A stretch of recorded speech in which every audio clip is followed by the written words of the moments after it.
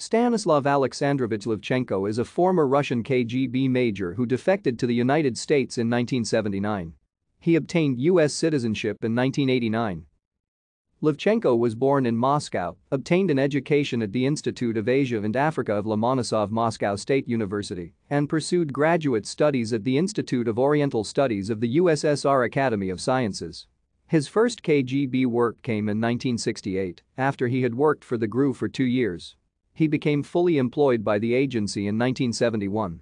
In 1975, he was sent undercover abroad as a journalist working for the Russian magazine New Times in Tokyo, Japan.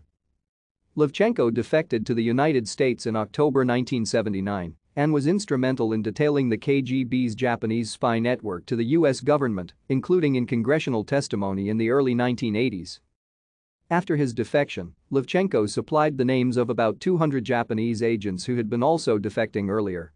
Included in his list were a former labor minister for the Liberal Democratic Party, Hirohide Ishida, and Socialist Party leader Seiichi Katsumata.